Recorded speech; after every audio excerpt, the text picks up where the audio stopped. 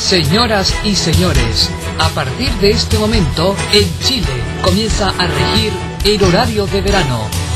Los relojes deben adelantarse en una hora. En este momento son las 0 horas, ahora son las 1 de la madrugada. Sigue con nosotros en NBC Televisión Chile